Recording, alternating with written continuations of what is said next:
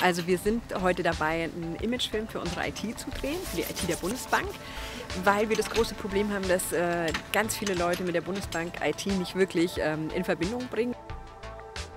Wir machen äh, eigentlich noch alles selber. Es gibt eine ganz große Themenvielfalt, eine ganz große Produktvielfalt.